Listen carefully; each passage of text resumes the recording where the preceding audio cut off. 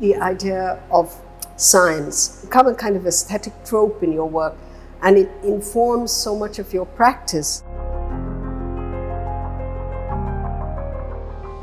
We as artists or scientists are actually just trying to make sense of the world, asking fundamentally questions of where we are in the universe. You are documenting another universe for all of us to open our eyes, like the early scientists and cartographers. It's a self-directed inquiry where often the historical or the cosmological would intersect.